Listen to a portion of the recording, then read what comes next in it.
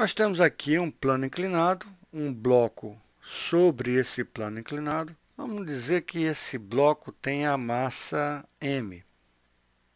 Esse bloco, estando próximo da superfície da Terra, ele está sendo puxado pela Terra, a Terra puxa o bloco, o bloco puxa a Terra, de forma perpendicular. Então, você tem aqui o bloco sendo puxado pela Terra, com a força, que é a força gravitacional, vamos chamar de Fg.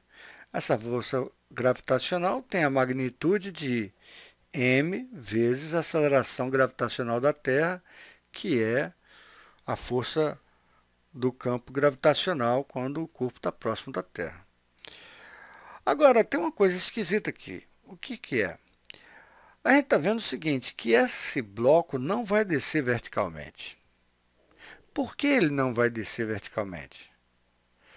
Porque tem o plano inclinado, que não permite que ele atravesse o plano inclinado.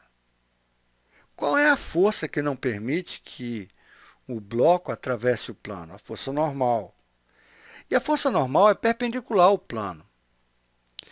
Nesse caso aqui, o plano não está na horizontal, então a força normal não é vertical.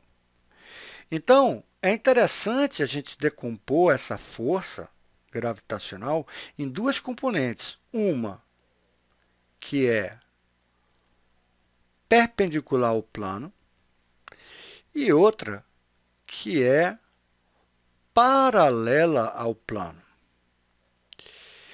Essa força que é perpendicular ao plano, ela vai produzir a nossa normal. Então, vamos pegar uma nomenclatura não muito usual, mas vamos chamar essa força força perpendicular, um traço vertical, um traço horizontal. Então, temos a componente da força peso na direção que é perpendicular ao plano inclinado. Já a força que está agindo de forma ao bloco acelerar ao longo do plano inclinado, vamos chamar força paralela. Eu quero calcular essas componentes. Para calcular essas componentes, eu preciso saber esse ângulo. Então, nosso problema é descobrir que ângulo é esse aqui. Então, vamos, através de geometria simples, verificar o seguinte. Essa reta do peso é perpendicular ao plano do chão.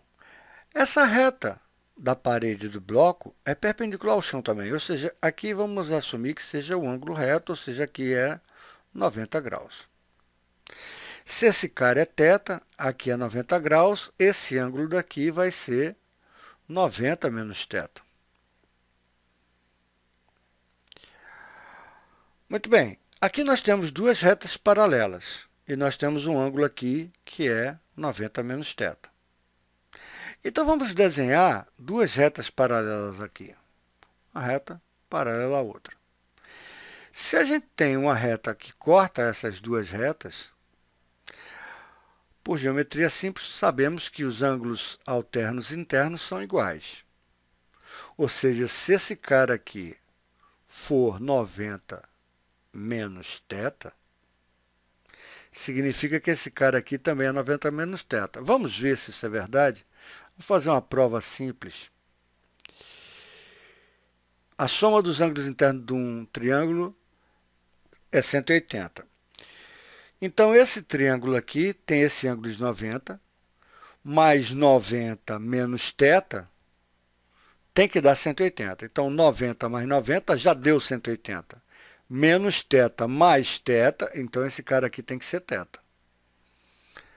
Vai ter que dar os 180 graus, que é a soma dos ângulos internos de um triângulo. E, por outro lado, esse ângulo daqui é 90 graus. Se esse cara é, 90, é teta, significa que esse cara daqui é o complementar de teta, ou seja, esse cara vai ser quanto? Vai ser 90 menos teta. Tá? Então, provamos que ângulos alternos internos são iguais. Então, aplicando aqui, a gente tem 90 menos teta, essa reta é paralela a essa, significa que esse cara aqui vai ser 90 menos θ. Como esse plano inclinado, essa reta que nós pegamos a componente dela, da força é, da força gravitacional, que é perpendicular ao plano, ela tem 90 graus em relação ao plano inclinado, ela é perpendicular ao plano inclinado, se esse cara é 90 graus e esse cara é 90 menos θ, significa que esse cara é o nosso θ. Isso é importante a gente saber. Por quê? Porque num plano inclinado, se esse ângulo for θ, ou seja, se você souber o plano inclinado, o ângulo do plano inclinado, e a gente vai ver isso em outros problemas com ângulos específicos, 30 graus, 45 graus, etc., esse ângulo entre a reta que é perpendicular ao plano inclinado e a reta que é a da força peso também formam um ângulo θ. E por que é importante?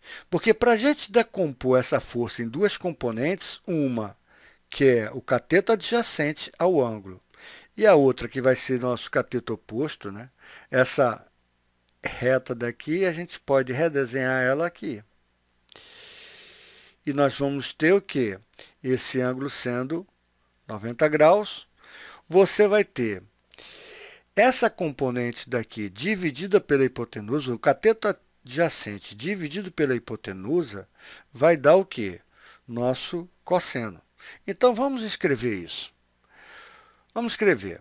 Você tem que f sobre g perpendicular, colocar aqui módulo dividido pela força gravitacional na Terra, ou seja, a hipotenusa, vai ser igual a o cosseno de θ.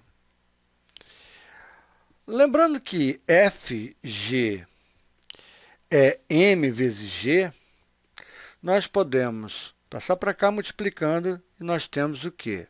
Nós temos que a força gravitacional perpendicular ao plano inclinado vai ser igual a quanto? Vai ser FG vezes cosseno de θ, mais FG é nossa força gravitacional, que é igual a mg. Então, podemos escrever mg cosseno de θ. Então, aqui vamos colocar o módulo.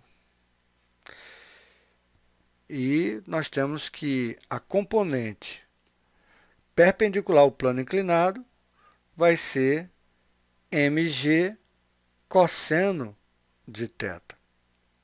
E quem vai ser a minha componente ao longo do plano inclinado, que vai causar aceleração do bloco, caso não tenha atrito ou atrito não seja suficiente para segurar o bloco. Vai ser o cateto oposto, nós temos aqui o cateto oposto sobre a hipotenusa. O cateto oposto sobre a hipotenusa é o seno de θ. Então, vamos escrever.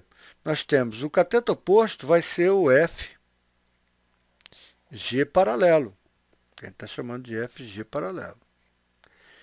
Dividido, e agora vamos escrever já MG diretamente, dividido por MG, que é a hipotenusa, vai ser, cateto oposto sobre hipotenusa vai ser o seno de θ.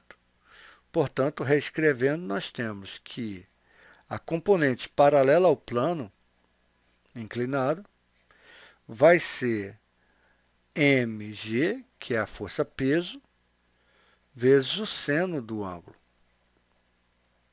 Se você não se lembrar muito dessa fórmula, você pode usar o seguinte argumento, a seguinte dica.